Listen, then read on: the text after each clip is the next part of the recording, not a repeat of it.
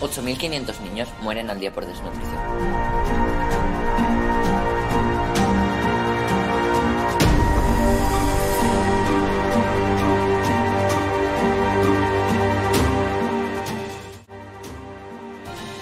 Cada español tira a la basura 250 euros en comida al año.